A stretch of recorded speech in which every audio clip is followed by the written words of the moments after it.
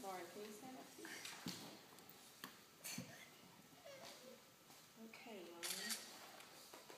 Lauryn is obviously born to be a ballerina. She's built like one. She's very, very serious about it. Very serious, aren't? Yes. Okay. I'm going to give you the certificate for being in my class. Okay, you did a great job this year. You worked super hard. Stand up. We're going to take a picture. You look so excited. Are you tired? Smile. Trying to catch your breath after all that dancing? Okay. Anyways, Lauryn did a wonderful job. So can we all give her a round of applause? Slide over. Okay. Miss Haley.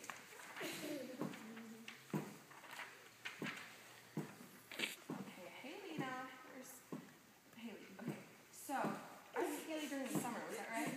Yeah, we had a lot of fun doing little bunny foo foo. I remember she really enjoyed that.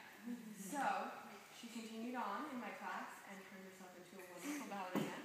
And this is a special certificate just for you. Big smile. Right, thank you. Let's Haley a round.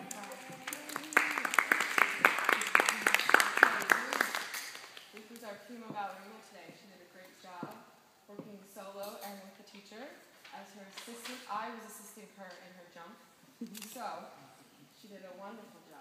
Thank you so much for all your hard work and dedication this year. And Miss Molly. All right, Miss Molly.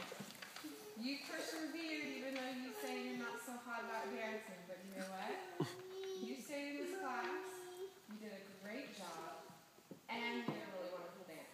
So thank you so much for all your hard work. Round of applause. It's really cute, by the way. Put it on your wall. Jeez. Okay. And Esther.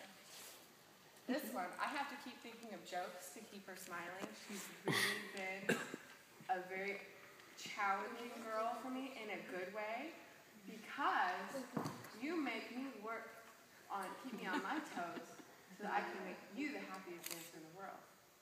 And even though you like to be all wiggly and stuff, and you like to tease me, and I like to tease you, you did a really good job up there. You did everything that I asked you to do. And that was very important. Thank you so much for doing such a good job. Okay? okay, round of applause for all our dancers. And you get to keep your tutus and your crowns as a gift. And I made these by myself. Okay. So, if you'd like to take pictures, parents, they're released to you to do whatever you would like. And we are finished.